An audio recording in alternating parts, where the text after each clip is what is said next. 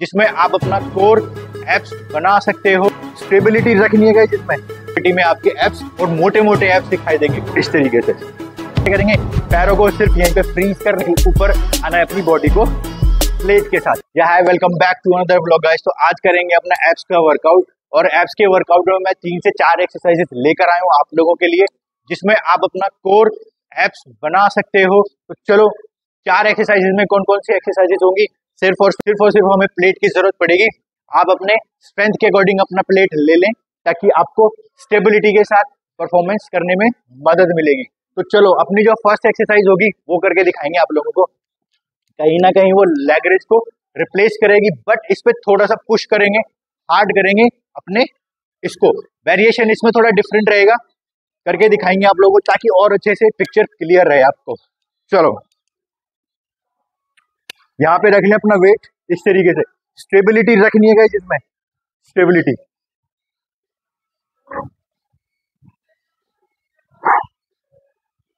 जब नीचे जाएँगे पैर तो ब्रीद इन करना है, ऊपर आएँगे तो ब्रीद आउट करना है।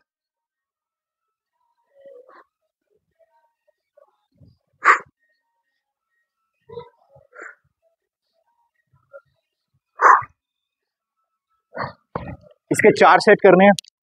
चार इसलिए, क्योंकि थोड़े से और अच्छे से पुश करोगे अपने एप्स को तो ज़्यादा मस्कुलरिटी में आपके एप्स और मोटे मोटे एप्स दिखाई देंगे। क्यों? क्योंकि लोअर के लिए ट्रेन करेंगे आप इसमें। चलते हैं अपनी दूसरी एक्सरसाइज पे। तो गाइज़ अपनी जो दूसरी एक्सरसाइज करेगी, वो भी हम प्लेट से करेंगे।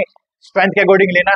लाइट वेट लोगे तो ज़्यादा रेपुटेशन निकलेंगे और जितने ज़्यादा रेपुटेशन निकालोगे, उतना ज़्यादा आपको एप्स पे इफ़ेक्ट इफ़ेक्ट आएँगे। तो चलो, करके दिखाऊँगा किस तरीके से करेंगे।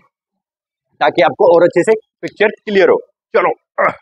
हाथों को इस तरीके से रखने का स्ट्रेट बिल्कुल यहाँ पे दोनों को मिलाना है।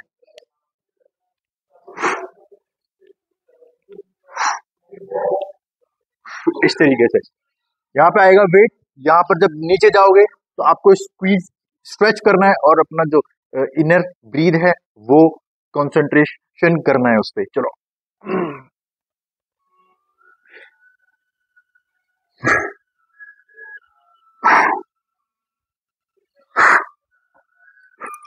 इसकी भी आपको चार सेट लेने पर सेट पे एटलीस्ट आपको 12 से 15 रेपिटेशन लेने ही लेने ताकि अच्छे से आपको इफेक्ट्स आए और ये वाली एक्सरसाइज करोगे तो आपको अपर एप्स पे इफेक्ट्स बहुत अच्छे और तगड़े वाले आएँगे। चलते हैं अपनी तीसरी एक्सरसाइज पे। तो अपनी जो तीसरी एक्सरसाइज रहेगी, वो करेंगे हम रशियन ट्विस्ट किस तरीके से करेंगे, वो आपको करके दिखाता हूँ। पैरों को बिल्कुल थोड़ा सा आप क्लोज कर लें चेस्ट से, ताकि आपको एरिया अच्छा मिले। चलो।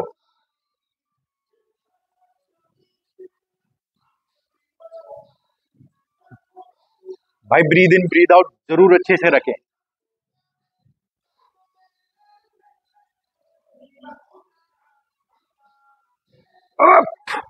इसके भी आपको तीन से चार सेट लेने पर सेट पे आपको एटलीस्ट 12 से 15 रेपिटेशन लेने आपके साइड ऑब्लिक्स को ट्रेन करने के लिए। बहुत अच्छी इफ़ेक्टिव एक्सरसाइज है करके देखना मज़ा आएगा. चलते अपनी चौथी एक्सरसाइज पे. इसी पे करेंगे, यहीं पे करेंगे. कहीं ज़रूरत जाने की ज़रूरत नहीं है, ज़्यादा एफर्ट्स लगाने की ज़रूरत नहीं है.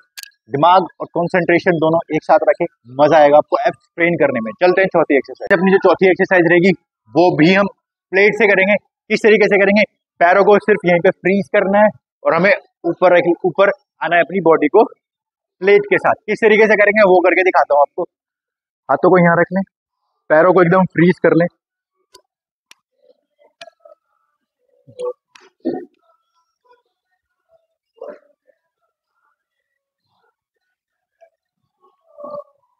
जब नीचे जाओगे तो ब्रीथ इन करना है। यहाँ पर। Breathe in breathe out breathe in breathe out इसके भी चार सेट लेने हैं। पर सेट पे कम से कम 12 से 15 रेपुटेशन लेने ही लेने का आपको अगर अपने एप्स अच्छे करने हैं तो। आई होप कि ये वाली वीडियो ये सेशन जो मैंने आप लोगों के साथ शेयर किया है, पसंद आए और चैनल पे नए हो तो please do subscribe like and share ऐसे ही प्यार बनाए रखो गाइस और मिलते हैं अपने नेक्स्ट ब्लॉग में कुछ नई एक्सरसाइजेस के साथ, कुछ नई बातों के साथ, बहुत सारी एक्साइटमेंट के साथ। तब तक अपना ख्याल रखें, अपनी फैमिली का ख्याल रखें। Bye take care